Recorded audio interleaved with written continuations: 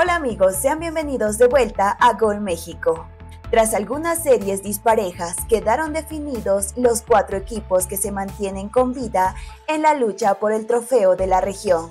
Monterrey dio cuenta 3-1 en casa ante el Inter de Miami para avanzar a las semifinales con un contundente global de 5-2, aunque no habrá clásico regio porque Tigres fue eliminado tras ser derrotado en penaltis por el Columbus Crew.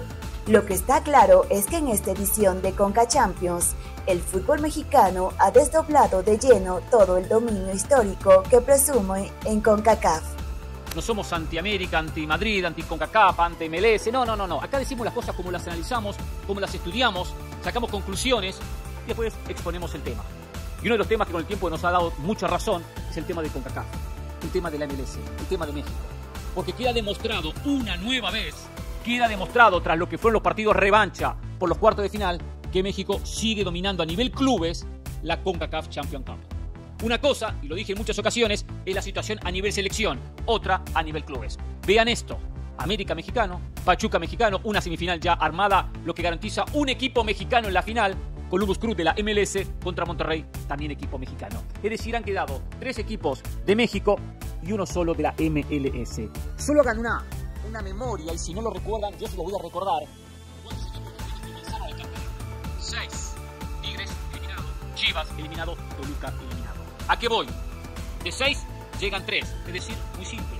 El 50%, el 50% de los equipos de México llegan a la semifinal. La MLS, ¿cuántos equipos tenía? 10. ¿Cuántos llegaron?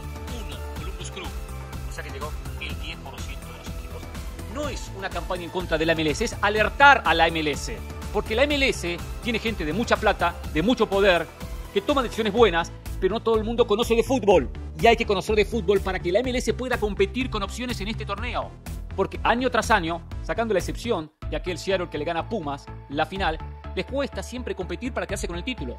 Y si bien la MLS se ha arrimado y se acerca, Monterrey le dio un baile a Inter Miami. Le dio un baile con Messi, con Suárez, con Busquets, con Jordi Alba, le dio un baile el conjunto regiomontano. Le pasó por encima. Con estrategia, con actitud inteligente. No es que le pasó por encima porque le quitó la pelota y lo, peloteó eh, al portero eh, del conjunto de la MLS, al portero Calendar. No, no, no, no fue eh, una propuesta desde el baile futbolístico en el ole, ole, ole, porque tengo la pelota y hago 20, 25 toques para pegar el gol. Lo único que queda para estos jugadores, algo importante, la dignidad su carrera termine de una manera decorosa, mundo, ganando Eurocopas, ganando Copas Américas, siendo figuras en equipos europeos de primer nivel, ganando Champions. O sea, han tenido recorridos estupendos los cuatro jugadores. Bueno, su imagen es muy importante. Tendrá que saber cuándo es el lugar y el momento correcto para dar un paso al costado. Porque acá, y acá meto el tema de Columbus Crew. Este Columbus Crew que es la salvación de la MLS. La idea de la MLS es poder competir a México y superarlo. A nivel club no lo consigue. Hoy Columbus Crew se mete en semifinales. Y es para la MLS, por lo menos el decir, tenemos un equipo que compite en el área. Porque lo de Inter Miami fue impresentable. Tendrá la MLS que analizar profundamente la incorporación de jugadores. México incorpora mejor cantidad y calidad de jugadores. Tiene mayor cantidad de jugadores de calidad para el momento. Si hay un futbolista que se destaca en River, en Boca, en Peñarol, en Nacional, y no va a Europa, va a México.